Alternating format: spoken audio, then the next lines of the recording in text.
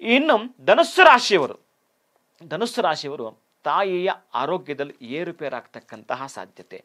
ಬೆಳಗ್ಗೆ ಎದ್ದಾಗಿನಿಂದ ಯಾಕಲೋ ಎಲ್ಲವೂ ಕೂಡ ಎಲ್ಲ ತರಹದ ಒತ್ತಡಗಳು ನನಗೇ ಬಂದಿದೆ ಅನ್ನೋ ರೀತಿಯಲ್ಲಿ ಇವತ್ತು ನೀವು ಬಹಳ ತುಂಬ ಟೆನ್ಷನ್ ಮಾಡ್ಕೊಳ್ತೀರಿ. ಆ ಟೆನ್ಷನ್ ಫ್ರೀ ಆಗಲಿಕ್ಕೆ ಮೊಸರನ್ನವನ್ನು ಇವತ್ತು ನೀವು ಸ್ವೀಕಾರ ಮಾಡಿ ಹೋಗ್ತಕ್ಕಂತಹದ್ದು ಮಕ್ಕಳಿಗೆ ಸಾಧ್ಯವಾದರೆ ಪೆನ್ನು, ಪುಸ್ತಕ ಇವತ್ತು ಈ ರಾಶಿಯವರು ಕೊಟ್ಟಿದ್ದೆ. ಆದರೆ ವಿಶೇಷವಾಗಿರ್ತಕ್ಕಂಥ ಪ್ರಗತಿಯನ್ನು ಕಾಣುತ್ತೀರಿ.